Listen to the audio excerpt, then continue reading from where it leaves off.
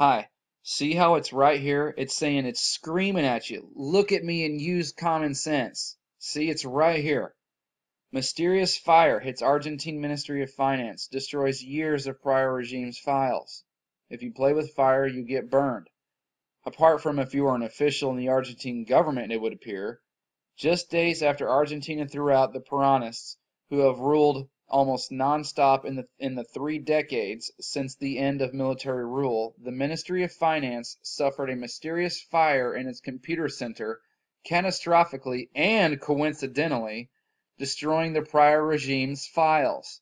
This is not the first time a fire has destroyed government records, or second, or third, or even fourth, because this happens all the time, meaning it's not coincidence.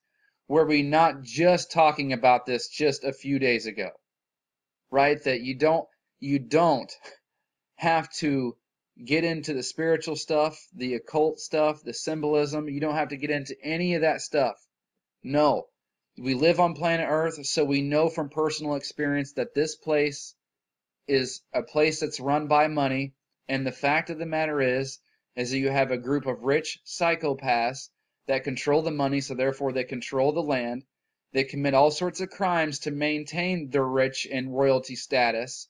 And so they commit crimes, but then they just cover their tracks. And if that means blowing something up, well, then they'll blow something up, collect money from blowing that thing up, and then they'll rebuild, rebuild something bigger and better and do it all over again. That's it. That's as simple as it really is. That's the truth.